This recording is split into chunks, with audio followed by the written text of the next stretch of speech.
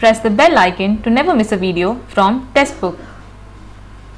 If you keep an eye on the latest trend followed by SSC for general awareness questions, you would notice that science facts are covering major portions of it. Questions belonging to physics, chemistry and biology are frequently asked in most of the competitive exams. For students who had science in 10 plus 2, answering such questions is not hard, but for those who did not, it becomes quite difficult. Let us jump right into the video and know some important chemical compounds, common names along with some common uses.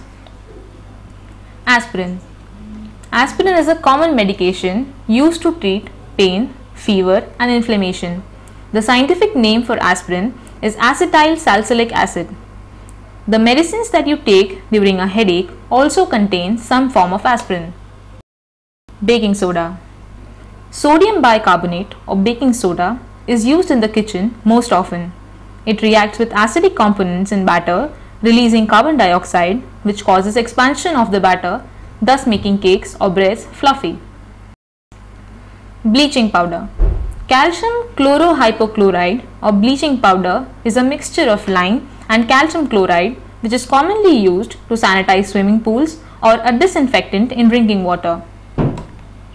Borax Sodium tetraborate is a common household item.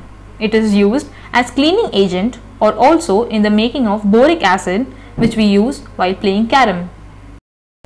Caustic soda Caustic soda is also called as lye or sodium hydroxide. Caustic soda is majorly used in paper making factories to convert wood into pulp. Lye is also used in food industry to turn green olives into black olives.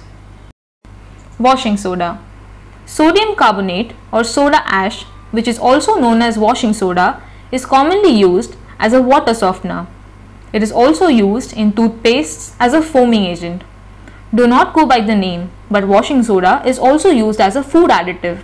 It is used as an acidity regulator, anti-caking agent, rising agent and stabilizer. Dry ice Dry ice is just solid carbon dioxide gas which is freezed at minus 78 degrees Celsius Dry ice is used as a cooling agent.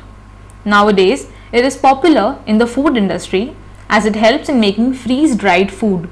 Do you know, according to the Mariner 4 spacecraft, you can find dry ice on Mars too.